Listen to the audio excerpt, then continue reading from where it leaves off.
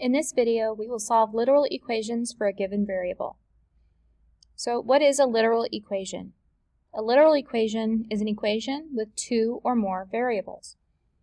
So an example here would be the area of a triangle formula. The area is equal to 1 half times the base times the height.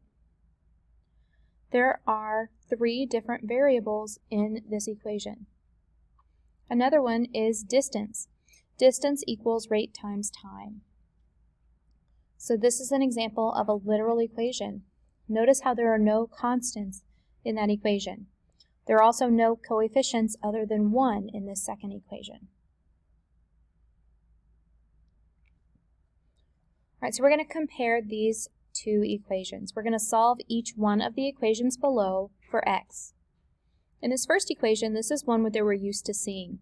So we're going to add 5 to both sides, get 2x is equal to 18, divide by 2 so that x is 9. Here we actually have a value for the variable. But what about here? If we want to solve for x, what do we have to do? Well, we have to get rid of the b first by adding b to both sides. When we add b to both sides, we're left with ax on the left and b and c aren't like terms, so we just write them down, c plus b. They're not alike, and they're not being multiplied, so we don't just write them next to each other. Then to solve for x, we notice that we're multiplying by a.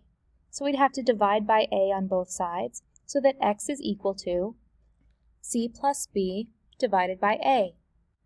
What I'd like you to do is write about two or three sentences on the similarities and differences between these two equations. When we're actually solving literal equations, we're going to be given a variable that we want to solve for. So we have the area formula here. Area equals length times width in a rectangle or a square. And we want to solve that for W. So we're going to ask ourselves two questions. What operations are going to be are being performed on the variable that we're solving for to begin with? And we notice that W is being multiplied by L. To be able to solve for W, we need to undo those operations. So we'll need to divide by L on both sides.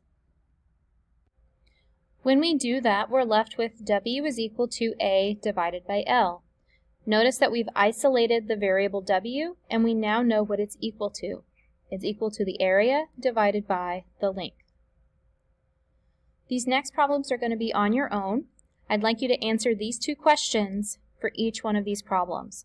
So I equals PRT, and you're solving for T.